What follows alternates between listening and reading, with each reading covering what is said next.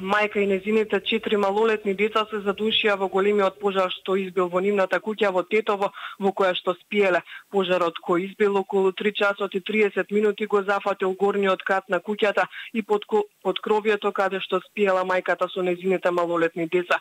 Неофицијално дознаваме дека децата се на возраст меѓу 4 и 13 години. За време на трагедијата, сопругот и татко на децата бил на работа. Трагичниот настан бил пријавен во службите околу 5 часот утринава.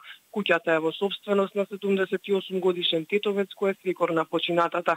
Инаку станува збор за двокатна стара куќа со дрвени греди која се наоѓа на улицата Гоце Делчев во Тетово, во делот познат како Горна Чаршија. Во овој момент се врши увид на лице место од страна на јавен обвинител, лекар по судска медицина и екипа од СВР Тетово. Телата на починатите се предадени на обдукција и официјалните служби се уште работат на утврдување на идентитетот на жртвите. Од против пожарната служба тука вела дека пожарот е локализиран и дека за сега не се знае која е причината за избугнувањето на на огнот што се проширил и на соседните куќи. Соседите и жителите на Тетово се во шок од оваа трагедија. Од истрагата на јавниот обвинител, обвинител се очекува одговорот на прашањето што го предизвика овој пожар. Михајла, ти благодарам за информациите. Пожарот бил пријавен во противпожарната бригада од Тетово во 4 часот и 15 минути. Пожарот ги зафатил и околните куќи, кои биле лепенки една до друга. Со командирот на противпожарната бригада, непосредно пред почетокот на овие вести, разговараше Мирјана Трпческа. Еве дел од разговорот. Се појавил пожар на три куќи. У едната куќа, за жал, ете, имаме и жртви.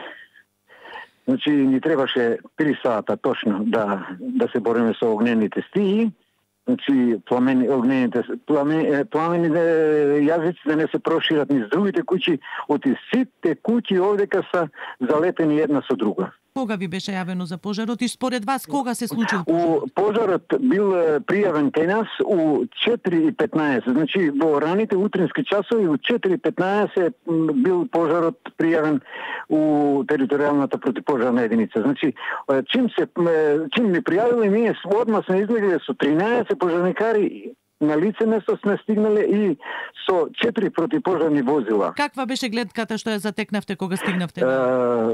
Не знам, хорор. Не можем да ви кажем. Не можем. Дарувајте ми, ова е прв пат у моје искуство, ова што, што, го, што сум го доживјал денеска. Значи, и од за жал, и од жртвите, што има жртви, и билетката беше страотна. Страотна. Се работи за едно семејство, значи мајка со четири деца, спасителна околност, значи, ете, и, имало и двајца стари луѓе во години, тие излегли надвор. Кој избувнал пожарот, овие другите останале у вториот спрат.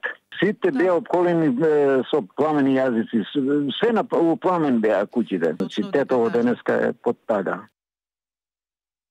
Во сообштението од основното јавно обвинителство Тетово сообштија дека надлежен обвинител врши увид во куќата во која ноќеска избувнал пожар. Во адвокатната куќа на улицата Гоце Делче во Тетово ноќеска избувнал пожар, при што според првичните информации настрадале жена и четири деца. Надлежниот обвинител од основното јавно обвинителство Тетово во моментов е на местото на настанот и во соработка со увидна екипа од полициската станица Тетово и противпожарната служба врши увид. Обвинителот повика тим за форезика од Скопје и екипа на Евана кои треба да помогнат во утврдување на околностите и причините за пожарот. Издадена е наредба за обдукција на пронедените тела и се преземаат други действија необходни за расветлување на случајот.